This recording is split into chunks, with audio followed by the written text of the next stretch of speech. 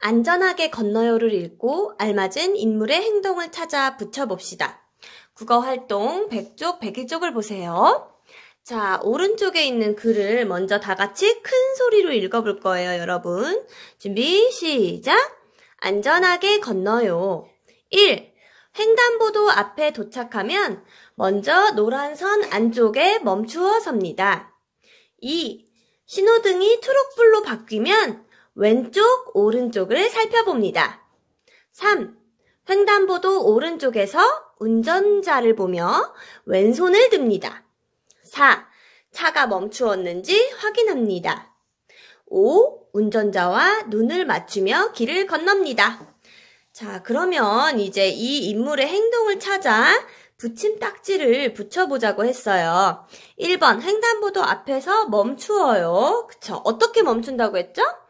횡단보도 앞에 도착하면 먼저 노란 선 안쪽에 멈추어 섭니다.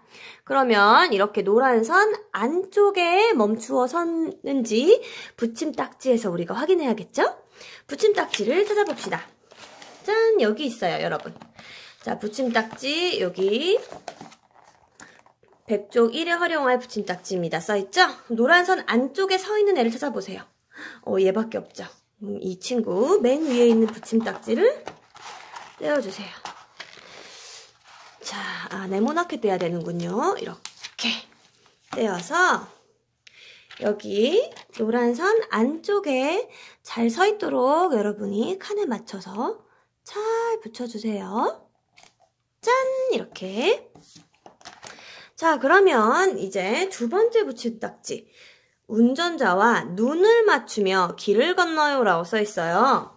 자, 어떻게 그래서 써 있었는지 볼까요? 여기 차가 멈추었는지를 확인하고 운전자와 눈을 맞추며 길을 건넙니다.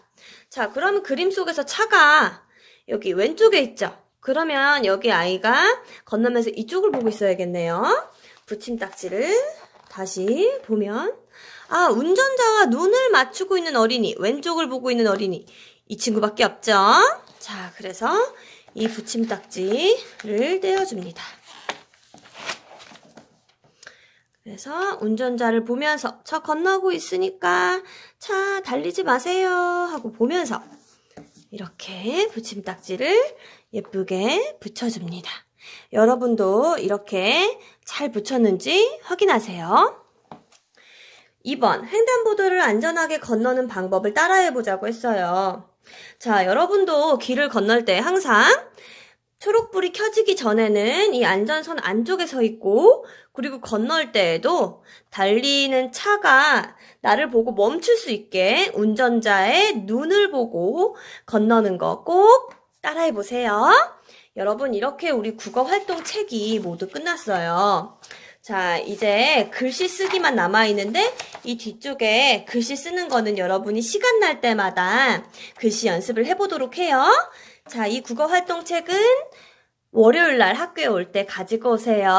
여러분, 그럼 오늘도 수고 많았어요. 사랑해요.